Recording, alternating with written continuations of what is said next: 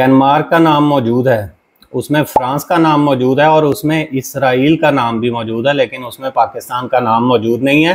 اور یہ یو اے کی میں بات کر رہا ہوں، جسے ہم اپنا برادر اسلامی ملک کہتے بھی ہیں اور سمجھتے بھی ہیں۔ آج کل بہت سارے پاکستانی یو اے ای میں جانے کی کوشش کر رہے ہیں۔ اس میں میں آپ کے ساتھ شیئر کروں گا کہ ٹوٹل وہاں پہ جو سکس قسم کے آج کل ویزاز چل رہے ہیں، اگر غریب آدمی نے دو پلیٹیں لگا لی ہیں فالتو کا ٹیکس پڑے گا، جس طرح سے آپ پی ٹی وی کا ٹیکس دے رہے ہیں آئی پی پیز ہیں بیسیکلی پرائیویٹ کمپنیز ہیں جو کہ بجلی کو پروڈیوس کرتی ہیں۔ اس سے بڑی بھی ایک گڑبڑ ہو رہی ہے، لیکن اگر آپ اسے زیرو وارڈ خریدیں گے، تب بھی آپ اس کو ستر ہزار تک پے کریں گے۔ آپ کو وہ تو نظر آ رہے ہیں، امیر لوگ جو انہوں نے بارہ یا چودہ کے وی لگائے ہوئے ہیں، تو یہ آئی پی پیز جن کو آپ مفت میں پچاس پچاس ساٹھ ساٹھ روپے پر یونٹ دے رہے ہیں، تو آپ ان کا احتساب کیوں نہیں کرتے؟ السلام علیکم۔ آج کل بہت سارے پاکستانی خاص طور پر ینگسٹرز یو اے ای میں جانے کی کوشش کر رہے ہیں، وہاں پہ جابز کے لیے اور لیونگ سٹینڈرڈ کو بہتر کرنے کے لیے۔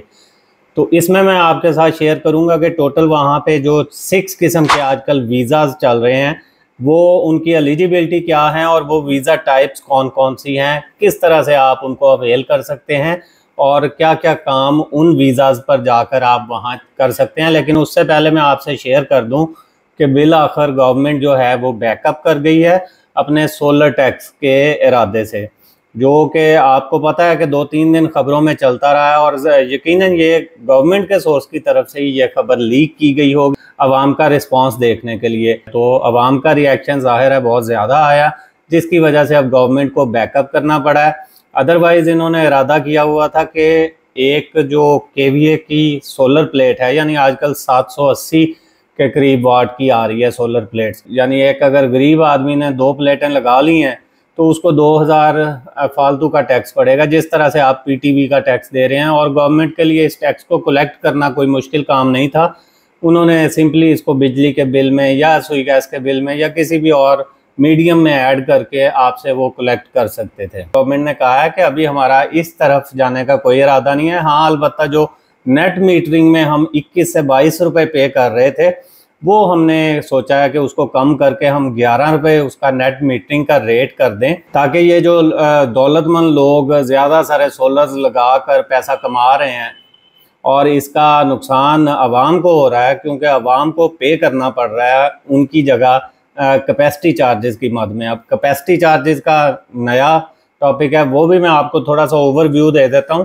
کہ انیس سو بانوے میں نواز شریف صاحب نے، اس کے بعد انیس سو چرانوے میں محترمہ بینظیر نے، اور اس کے بعد سے یہ سسٹم کنٹینیو ہے کہ آئی پی پیز کا آپ نے ذکر سنا ہوگا۔ آئی پی پیز ہیں بیسیکلی پرائیویٹ کمپنیز ہیں جو کہ بجلی کو پروڈیوس کرتی ہیں۔ اس میں زیادہ تر تھرمل بجلی پروڈیوس کر رہی ہیں یعنی باہر سے مہنگا تیل لے کر اس کو اپنے پلانٹ کو وہ رن کر رہی ہیں۔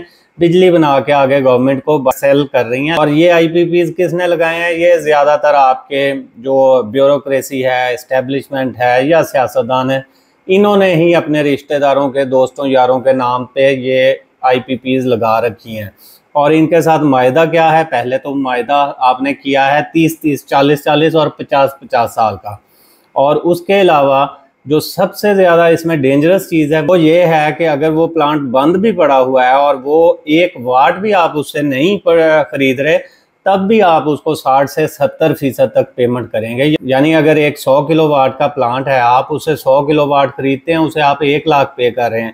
لیکن اگر آپ اسے زیرو واٹ خریدیں گے، تب بھی آپ اس کو ستر ہزار تک پے کریں گے۔ سکسٹی پرسنٹ سیونٹی پرسنٹ تک پے کرنا ہوگا۔ اس کو کہتے ہیں کیپیسٹی چارجز تو اب حکومت کا یہ موقف ہے کہ کیونکہ لوگوں نے امیر لوگوں نے سولر لگا لیے ہیں، تو وہ کپیسٹی چارجز کے پیسے جو ہیں بے شک بجلی استعمال نہیں ہو رہی وہ، لیکن ہم تو پے کر رہے ہیں ان کو آئی پی پیز کو، تو وہی چارجز اب غریبوں سے وصول کرنے پڑتے ہیں، تو اس لیے ہم اس کا جو ریٹس ہیں، اکیس روپے کی بجائے اس کو ہم کم کر کے گیارہ روپے کر رہے ہیں۔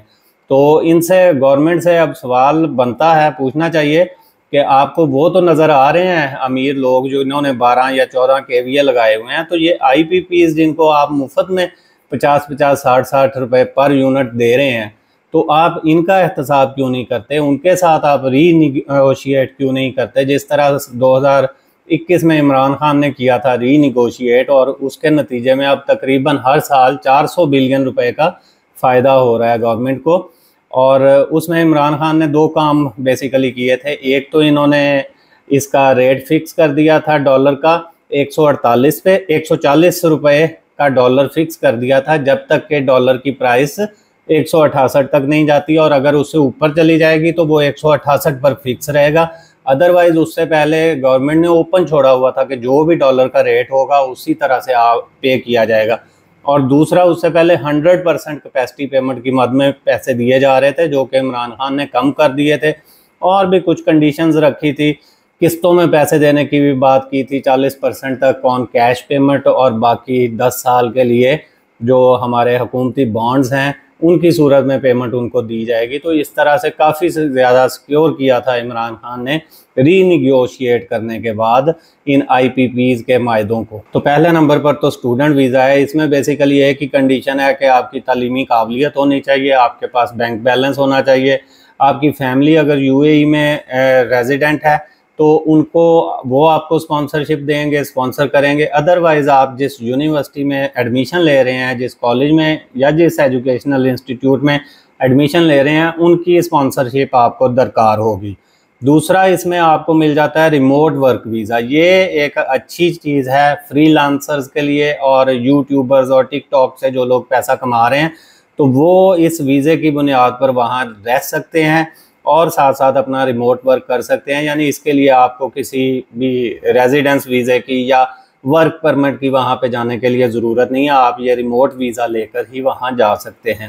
اور ایک میں انہوں نے اب ویزا فری کیٹیگری میں بھی ستاسی ملکوں کا نام یو اے ای نے اناؤنس کیا ہے۔